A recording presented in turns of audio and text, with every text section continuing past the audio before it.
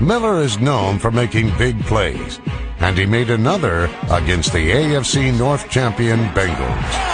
Touchdown, Zach Miller. And the Raiders are in the end zone and back in the game. 14-7 Cincinnati.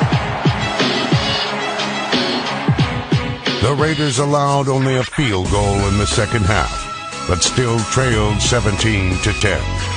Quarterback Bruce Gradkowski, making his first start wearing the silver and black, was undaunted.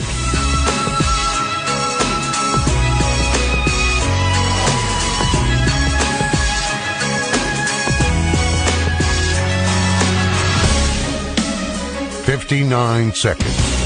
Fourth and ten. Forty-five yards from tying the game.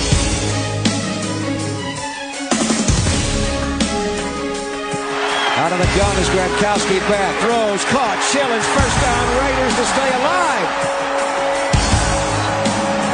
Coming right down to the end. On the Bengal 29-yard line. Second and 10. 41 seconds to go. A pump right. A throw left for Murphy.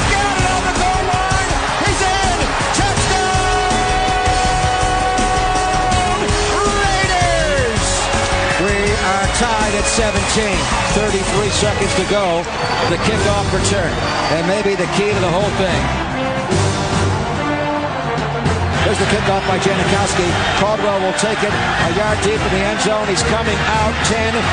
Hit at the 15 off that tackle. Comes back inside. He fumbled the ball. The Raiders have it on the 18-yard line and field goal range. I don't believe it. Brandon Myers may have come up with the play of the year for this team. Here we go. Janikowski from 33 yards out.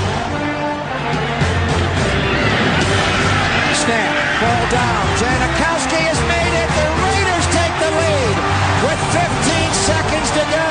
What a great comeback by this young team.